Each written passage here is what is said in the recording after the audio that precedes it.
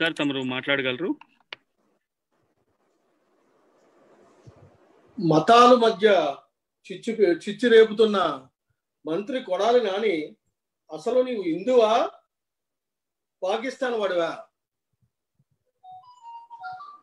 దేవుళ్ళను బొమ్మలతో మాట్లాడతావు రథాలను చెక్కలతో పోలుస్తావు. నీకు అసలు ఆలోచన జ్ఞానం ఉందా? ఆంజనేయ స్వామి చెయ్యి విరగొడితే ఆంజనేయ స్వామికి పోయేది ఏంటంటావేటి? బొమ్మే కదా అంటావు. దుర్గా గుడిలో మూడు సింహాలు ఎత్తుకుపోతే ఏమైపోయింది? ఆరు ఏడు లక్షలే కదా.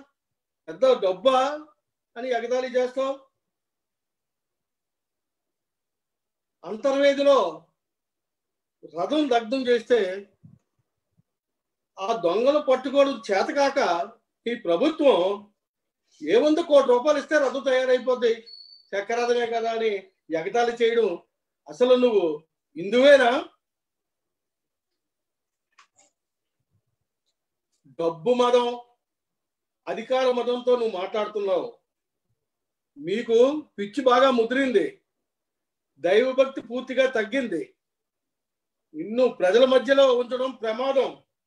తక్షణం మంచి పిచ్చాసుపత్రిలో జాయిన్ చేస్తే చాలా మంచిది. ఎందుకు? చేతికి తాళ్ళు కట్టుకుంటావు మెల్లో రుద్రాక్షలు వేసుకుంటావు దేవుడి భక్తులు అంటావు.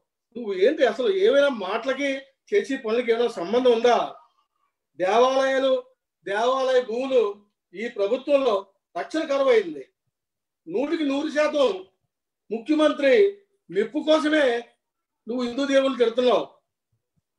కొడాల నానిగారి విసక్షణారహితంగా మాట్లాడటం మంచిది. హిందువుల మనోభావాలు రెచ్చగొడుతున్న ఈ కొడాలి నాని ముఖ్యమంత్రి గారు అర్జెంటుగా మంత్రివర్గం నుంచి బర్తడప్ చేయాలి. మీరు బర్తడప్ చేయకపోతే వీటి వెనకాతల మీ ప్రభుత్వ హస్తం ఉంది అని ప్రజలు హిందువులు అందరూ అనుకుంటున్నారు. ఎప్పుడు గతంలో ఎప్పుడు కూడా హిందువుల మీద దేవాలయాల మీద ఇటువంటి పరిస్థితులు ఏం జరగలేదు.